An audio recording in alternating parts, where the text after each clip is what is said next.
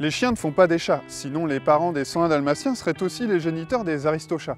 Ça n'aurait pas de sens. Ce n'est donc pas parce que cette Seat devient une Cupra, la nouvelle division haute performance de la firme espagnole, qu'elle serait moins bien que les autres. Mon petit doigt me dit que cet ATK pourrait même être le meilleur de tous. Mais ce n'est pas lui qui me le dit, mais le moteur qui a sous le capot, c'est le 4 cylindres de litre TSI, un moteur bien connu au sein du groupe Volkswagen. C'est d'ailleurs le moteur d'une autre sportive, la Seat Leon Cupra. Ici, il fait 300 chevaux, 400 Nm de couple dès 2000 tours minute. Comme d'habitude, ce moteur est très réussi, il pousse fort tout le temps, du ralenti à peu près jusqu'à 6000 tours minute. Et en présence ici de la boîte robotisée DSG, on a d'autant plus l'impression de cette réserve d'énergie. La transmission enroule sur le couple en permanence. On n'est jamais à court de souffle. Cet ATK est en effet loin d'être asthmatique.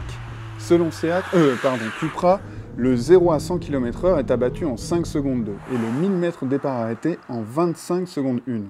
On comprend mieux pourquoi ce SUV accède en option à de gros freins Brembo, convaincants lors de cet essai. Pour ne rien gâcher, ce moteur émet une sonorité assez sympathique grâce aux échappements spécifiques.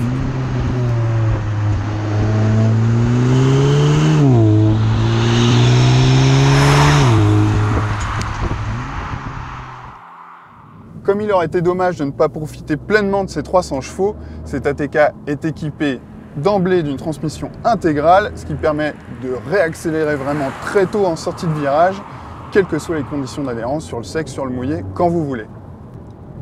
Les trains roulants ont aussi été revus. On a notamment ici une suspension pilotée en série. Et je dois dire que je m'attendais d'ailleurs à un comportement bien moins dynamique avec un SUV souvent lourd et un peu haut perché, on a souvent du sous-virage, un train avant qui élargit trop la trajectoire. Et là, c'est pas trop le cas. Le comportement est assez neutre, on a un bel équilibre. On a même l'arrière qui vient accompagner l'avant quand on garde bien du frein jusqu'au point de corde. En fait, cette Cupra ATK, c'est une excellente GT, je dirais.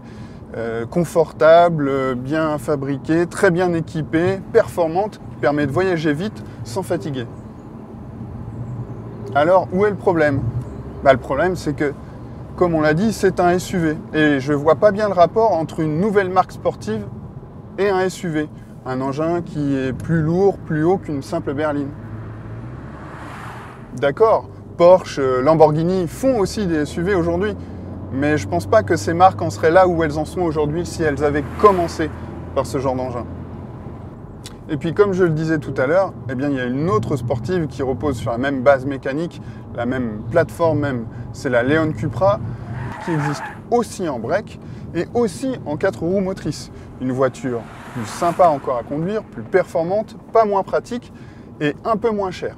En fait, cet ATK de chez Cupra, c'est une bonne voiture. Mais pour moi, il n'a aucun intérêt.